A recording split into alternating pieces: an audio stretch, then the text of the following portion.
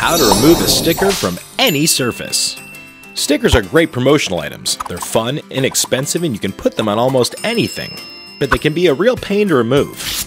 Different kinds of materials require different techniques when removing a particularly pesky sticker. And here's how it's done. Glass.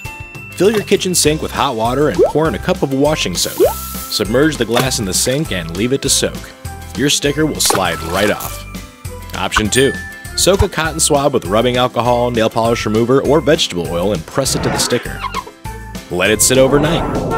Now, peel the sticker off the glass. Use a razor blade to scrape away any remaining residue. Wood. Soak a cloth in white vinegar and lay it over the sticker. And let it sit for about 5 minutes. Then, gently peel off the sticker. Metal. Start by gently scratching off the adhesive with a credit card.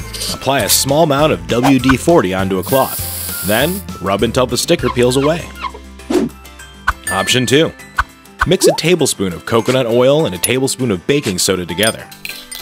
Apply the mixture to the remaining adhesive with your finger. Then, wipe it away with a wet cloth.